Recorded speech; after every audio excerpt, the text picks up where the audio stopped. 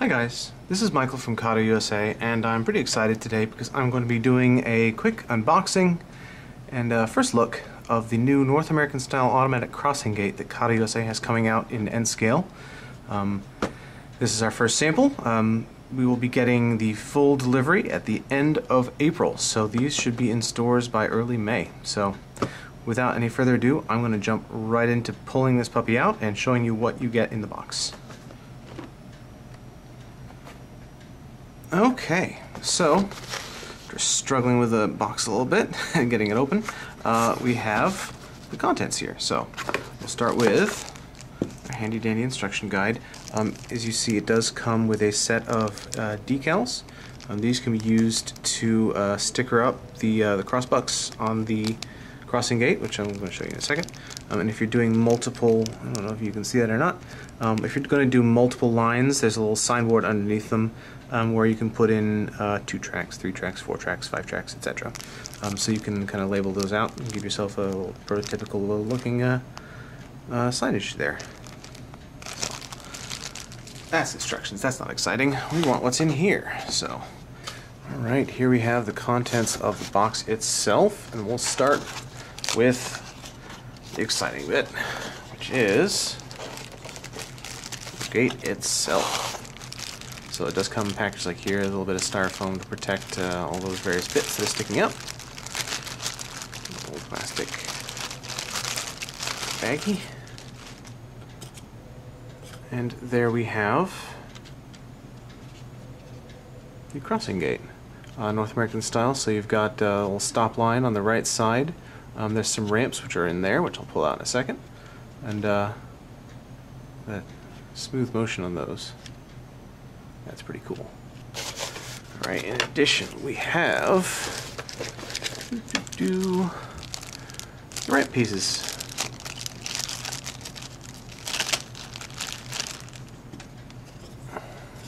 You get two of those. They're kind of like the um, the road crossing piece in N scale. They just kind of clip onto the sides of this. Give you a nice full section there. We have more goodies. Cables. Uh, these are um, connection cables for the sensor tracks, which are also included in here. We have the power cable for actually powering the the uh, the crossing gate. Another set of uh, cables for the extension. And here we have. Oh, and here are the sensor tracks themselves. Um, as you can see, they've got little infrared sensors built into them. Um, so you can use these along with this to kind of uh, extend out because um, while there are sensors on here, you don't necessarily want it going down only when a train crosses here. So you can use these to set them further out so when a train crosses it over, the gate will activate. It's a neat system. I'll show it to you in a bit. And then we have a power box, power brick in a box. Standard wall outlet, um, a little plug adapter.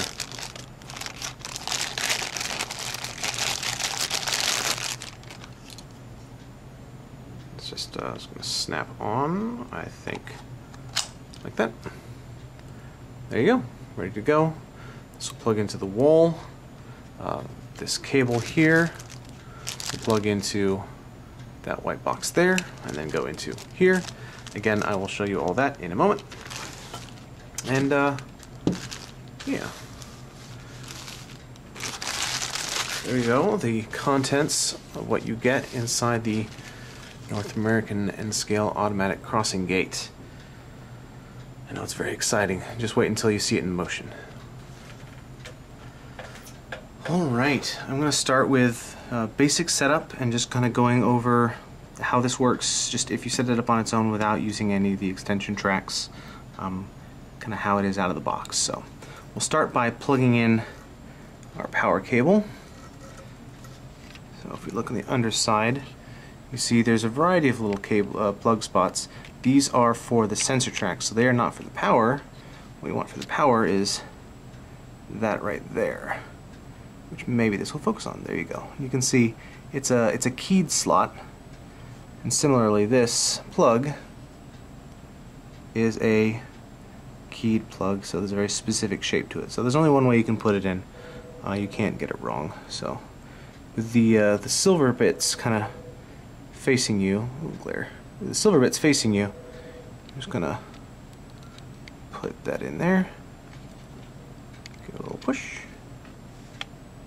a little click, and it's now solid. So I'll take that. I'm to set that here, and I'm going to on this side, so the cable's not in the way. Just connect it to my Unitrack loop. And there we go. Alright, now you can't see it, but I'm going to take the other end of this power cable and plug it in to the white plug from the wall outlet. Again, it's keyed, so there's only one direction it can go. And I've plugged it in, and it does a real quick uh, startup sequence just to kind of test everything. You may notice I'm going to unplug it. I'm going to plug it back in again so you can see that.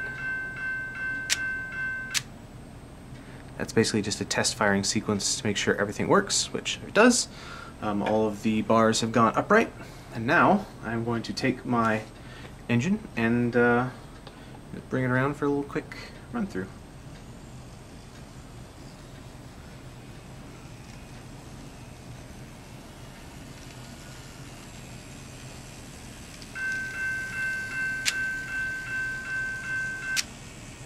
you see, um, as it runs over the first sensor, it triggers the, the gates. When it leaves the second one, they go back up again. Now, um, obviously, the, the, the, locomotive was already in the uh, intersection by the time these went down, so that's a little dangerous for your, uh, for your N-scale drivers, but um, that's why we have the separate sensor tracks. Now, before I get to those, I'm going to show you a couple things. For example, um, there are multiple sound options uh, on this gate bring my engine back around. Now, the sound options um, can be changed with this. Um, I forgot to include this in the unboxing earlier because um, I missed it because it's tiny, but it's a little um, tiny little plastic screwdriver, and you can use that with this little notch here. There's a set of two switches um, which can be arranged in different patterns to change the sound sets. So I'm going to give you a better look at that if you will hold on for a moment. Now this will be very difficult to see because these switches are tiny and I don't think I've quite got got it so you can see in here, but you can kind of see one of them. So, uh, infrared sensors, shadows, be a little careful with that. Um, I'm just going to flip one of these here and so you can hear the other sound one of the one of the four sounds. There's four sounds that come in it, so.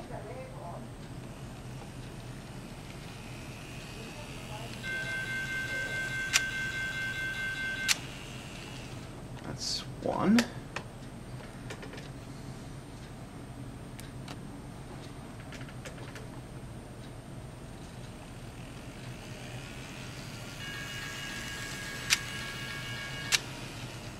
That's two.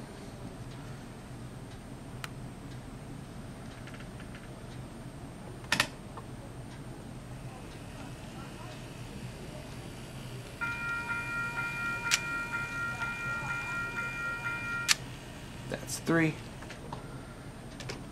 And then back to the default out of the box for number four.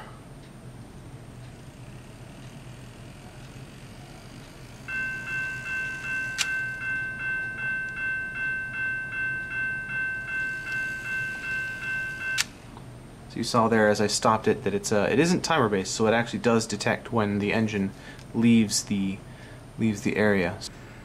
Alright, I've got uh, my sensor tracks set up now and um, kind of I've just got one set up. Um, you can do it with one or two. Uh, the nice thing is that it uh, the, the system will automatically detect if you've got multiples or not. So in this case I've just got one, as you can see, connected by this cable, all the way over there.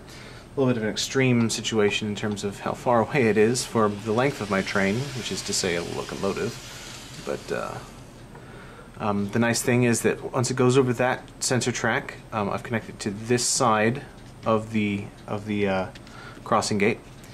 Um, it will detect it as entering the the area, and those gates will go down and they'll stay up until it goes over this second sensor. Or if I had this other sensor track hooked up. Like say here, it would wait until it got detected there, and then it would go up. So it's a very smart system. I'm going to go over briefly just how to connect these. Um, these are very small wires, so you do have to be a little careful with these, or you need to be a lot careful with these, to be honest. Um, so here you may see, if it focuses, uh, on one side of these plugs there's little metal plates visible. On the other side you see wires. When you're putting this in, you're going to want to make sure that you see the metal plates facing you. So when it goes in like here, you're going to want the metal plate side to go in. So you just kind of feed it in there and you push it gently. There you go. Um, when you're removing it, you want to be really careful. Don't just grab this and pull. Um, get like a small jeweler's screwdriver or even use the screwdriver that came with it to kind of pry it off. Because um, yeah, you don't want to pull on these cables because you might just yank them out of the plug and then you'll have a sad time.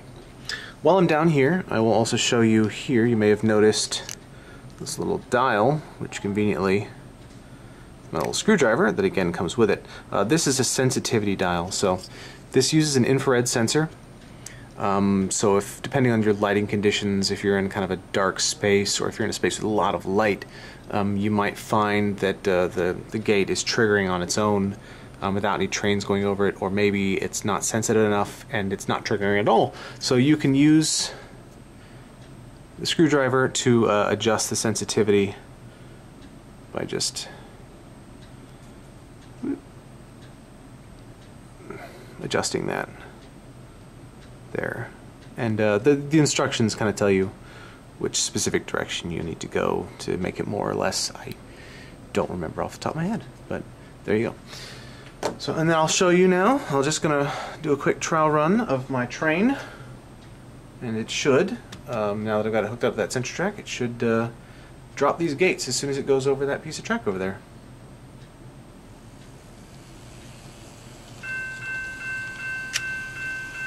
There you go.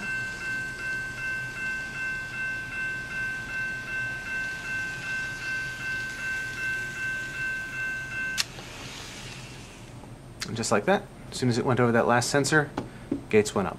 So it works exactly the same if you've got two sensor tracks hooked up. Um, and that's the basic gist of it. That's the automatic crossing gate in a nutshell. Um, it's a really cool system. It's very smart. It's uh, completely DCC compatible, so if you're using DCC, you don't have to worry. Um, it's totally isolated, so it's got its own power cable.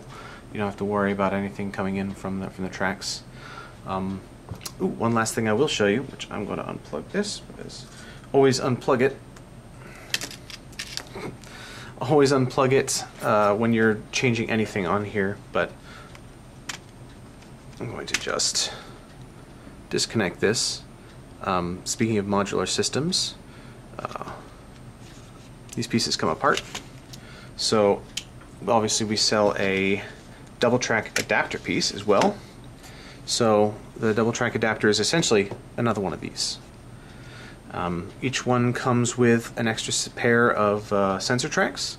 Um, so these just snap right onto the sides of each other. So you can just connect one, another, another, another, another, the end of it, put your other track piece, um, and again, it will all just work, um, which is pretty nice. I believe it goes up to six or seven tracks. Uh, again, the instructions mention that, but I don't have them in front of me. So um, there you have it. That's the automatic crossing gate in a nutshell. Just push these back together. Um, it's coming at the end of April. End of April? Yes, end of April and uh, we're pretty excited because it's a it's a cool piece of tech. Um, it's been available in Japan for a while, but this version now um, we've got the the double yellow line striping and the yellow and red, white and red uh, little uh, stopping bars, and uh, the and it uses a U.S. prototype uh, sound set. So it's very cool. Uh, we hope you enjoy it. We hope you pick one up. And yeah, thank you very much for watching, and go trains.